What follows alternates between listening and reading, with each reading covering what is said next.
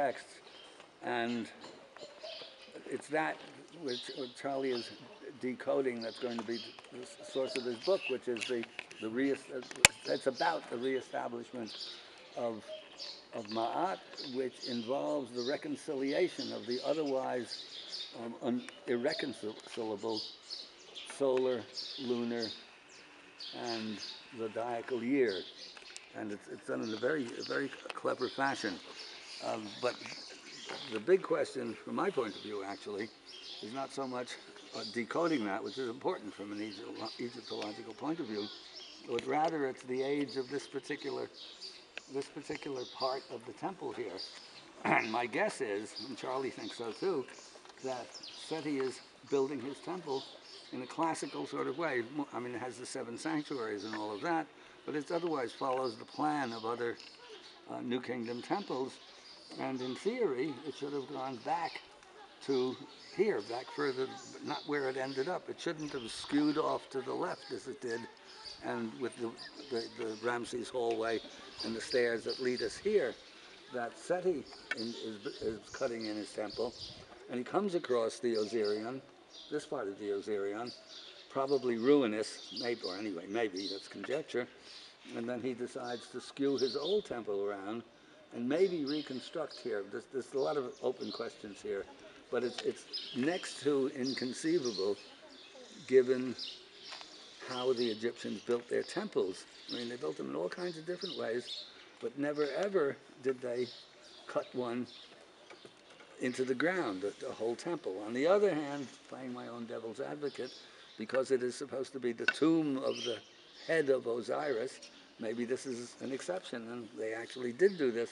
But stylistically, it's next to impossible to conceive of the same person building the temple we've just spent all this time going through, and then doing this unbelievable thing here with these blocks of granite, which weigh, I'm not exactly sure, but I would, my guess would be upwards of 100 tons.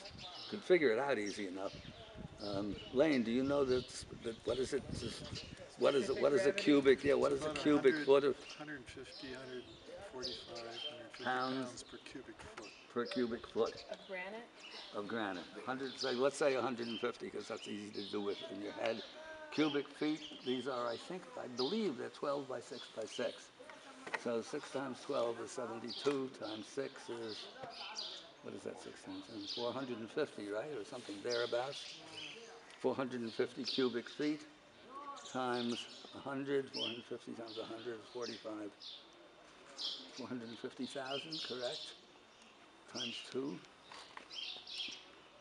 Yeah, somewhere, somewhere over 100 tons, right? Is that correct? Who's got one of the quick calculators? Anyway, something of that nature, and I'll, and I'll bet if you stand what you did in the Valley Temple, if you stood up on the, on the, on the top there and, and did a look down and you'll find that they're, that they're absolutely precise. There's not, you know, there's not a hundredth of an inch tolerance uh, in it. So, but when it was done, and I asked Schoch at some point when we were first doing our research, and it looks like it's in crumbly bedrock, right, where it's cut in over there. and I asked Schoch if that was crumbly bedrock or impacted Nile silt, and he took one look and he said, "Oh no, it's impacted Nile silt." So, and it's known that in the very, very distant past, there were gigantic floods over a number of years, way higher than anything around today.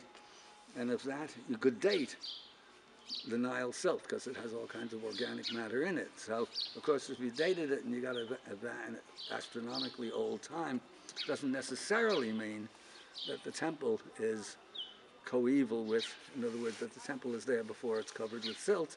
Could mean that they just cut into the silt and put the temple up, but it would be a piece of interesting, enough circumstantial evidence so that, you know, that you'd be inclined to uh, pursue the matter further. I don't know. Anyway, it's in that, that Merneptah there, and then Seti more on that book of Nut, on the hieroglyphs over, over underneath there. And uh, it's too bad we can't get in because be, with it nice and dry like this, it'd be nice to sit down and do a 10, 15 mi- minute meditation, but they won't let us. So anyway, at least we're here and not shivering in 10 dig below zero cold in New York. Um, And actually, there's a funny story, when we were here filming, this, and this goes up and down, it co- covers up, it gets pretty, the water gets pretty deep in here. And there was a couple of feet, well, a couple of feet of water. Look at the You see dry the, you see the, water the- see the watermark on the, see Where the does where watermark does on it the come from, the water? Three, three feet or so, well, anyway, there was a lot of water in there. And, um, And there is fish. I was there, well, they had lots of, they were growing, there was all covered with, with plants growing in there, and lots of catfish swimming around, because the guards brought in some catfish, and they had a free source of, of, um, of, of fish to eat. And, and millions and millions and millions of tadpoles all over the place. And anyway, I was there with Schoch and with Boris, and Boris, you know, man of action, has a camera on his on his on his back, and he takes the tripod in one of those big old you know beta cam things, and he's wading into the water. He you know pulls his pant, his, his, his uh, rolls his pant legs up and strides off into the water. And Schoch, who's in those days particularly very cautious, um, said, "No, yeah, you shouldn't do that." You know there are all kinds of parasites and organisms in the water. It's dangerous. And Boris looked around and said, "Yeah, you could catch tadpolio."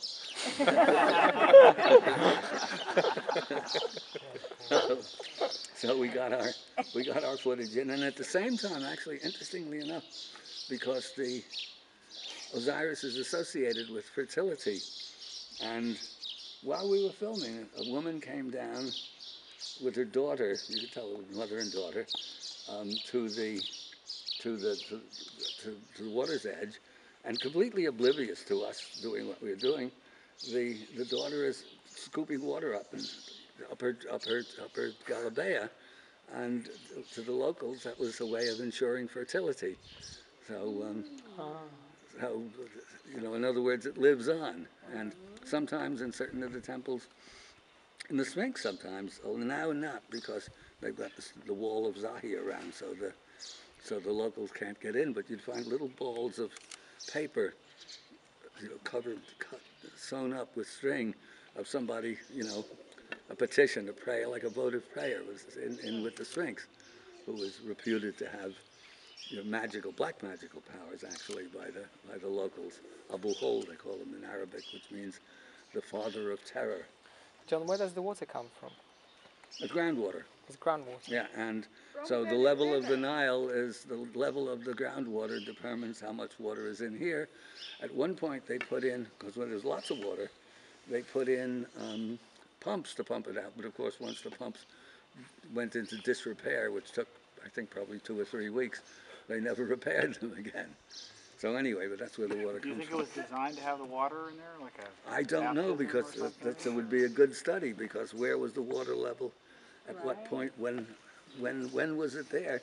It looks like it's designed where the, the central uh, wells are there. It looks like it, it's supposed to be there, but whether or not it's, and it's deep. They've measured it, that those, those, those shafts go down, I think seventeen meters, fifty feet, something like that. Those shafts? I believe What so. I believe so. The center wells. The center shafts. The shafts, the center wells, yeah. Why are there wells Hmm? I believe so, yeah. in temples? Meters. Yeah, I believe so, yeah. Why do you think this very temple has wells? Why? I have no idea. I mean, it's a great mystery. I don't know. There- there's other I mean, I think that legendary, in other words, it has something to do with, Scuba gear. That's with. Osiris consciousness, with, you know, from time immemorial, before there's a, before there's dynastic Egypt. That's my, that's my guess. Because they don't do things like this. But how do we know that if Right. it's pre-dynastic, it has anything to do with Oh, Osiris? What else, uh, where else in We don't know, but, but, but things, you can't, you can't be sure, but the Osirion, I mean, it goes back to pre-dynastic times anyway. And, and uh, when you study the stuff, the cosmologies are there to begin with. You know the cos, I mean, you can, with Gobekli Tepe, you can really prove that. So there's every reason, there's every reason to believe that it did go back. Let's go, there's people waiting to get in there. Let's go.